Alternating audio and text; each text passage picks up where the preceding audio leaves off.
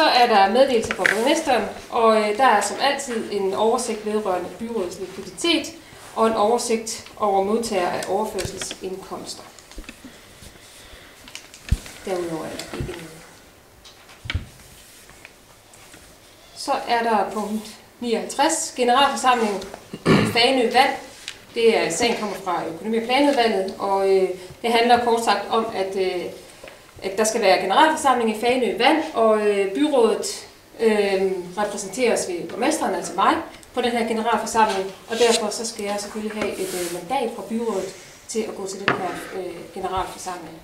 Det, som øh, er på dagsordenen, er udover de, de vanlige sådan, øh, formelle punkter, så er det forelæggelse af årsrapporten øh, og godkendelse af anlægsprogrammet, hvor som, som begge dele også er vedlagt sagen som, øh, som bilag her.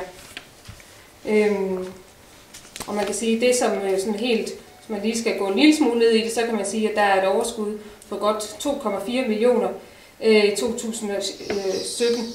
Øhm, og, øh, og, øh, og for øh, anlægsprogrammet gælder det, at, øh, at der er nogle, øh, nogle forslag omkring øh, øh,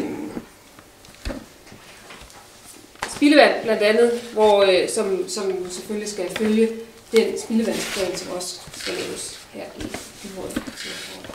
Er der nogen kommentarer til det?